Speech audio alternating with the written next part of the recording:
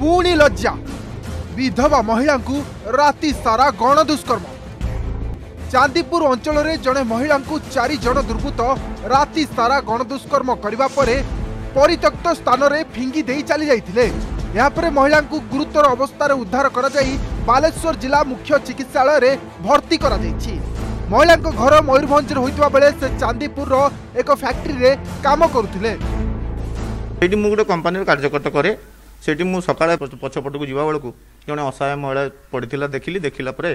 ମୁଁ ଜଣେ ଯଦି ଜଣେ ମହିଳା ପଡ଼ିଥିବାର ଦେଖି ପାଖାପାଖି ଚାରି ପାଞ୍ଚ ଜଣ ମହିଳାକୁ ଡାକିଲୁ ଡାକିକି ସାମ୍ନାକୁ ଗଲୁ ପଚାରିଲୁ କାହିଁକି ଏଠି ପଡ଼ିଛନ୍ତି ସେ ତାକୁ ପଚାରିବାରୁ ସେ କହିଲେ ଯେ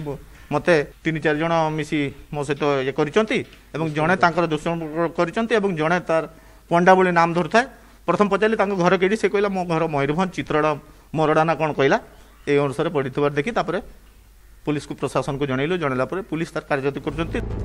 নিছাটিয়া স্থান দেখি দুর্বৃত্ত মানে তাঁকু ঘোষাড়ি নেই দুষ্কর্ম করে মহিলা জনক মুখ্য অভিযুক্ত চিহ্নিথা বেড়ে অন্য মানুষ জানি না তবে মহিলা বয়ান আধারে পুলিশ মুখ্য অভিযুক্ত সমেত তিন জনক অটক রাখি পচরা উচরা চলাইছি শুক্রবার সকালে সাত পর্যন্ত জন স্ত্রী লোক সে যে পিইডি সেন্টার নূয়া ইডকো কোম্পানির হচ্ছে ସେଠି ପଛ ଆଡ଼େ ପଡ଼ିଥିଲା ସେଟା ଲାଇଟ୍ ଫାଇଟ୍ ନାହିଁ ଅନ୍ଧାରିଆ ଜାଗାଟାରେ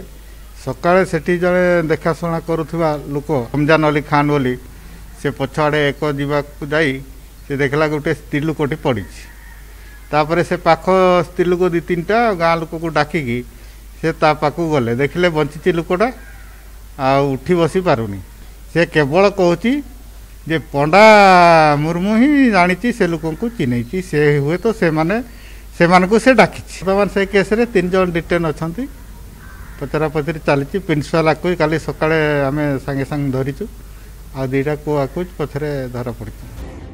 ମହିଳାଙ୍କୁ ଅମାନୁଷିକ ଭାବେ କ'ଣ ଦୁଷ୍କର୍ମ ଆଉ ଦୁଷ୍କର୍ମ ପରେ ଫିଙ୍ଗି ଦେଇ ଚାଲିଗଲେ ଦୁର୍ବୃତ୍ତ ଘଟଣାରେ ଚାରି ଜଣଙ୍କ ନାଁ ଆସୁଥିବା ବେଳେ ତିନି ଜଣଙ୍କୁ ଅଟକ ରଖିଛି ପୋଲିସ ବାଲେଶ୍ୱରରୁ ପ୍ରକାଶ ମହାନ୍ତିଙ୍କ ରିପୋର୍ଟ ଅର୍ଗସ ନ୍ୟୁଜ୍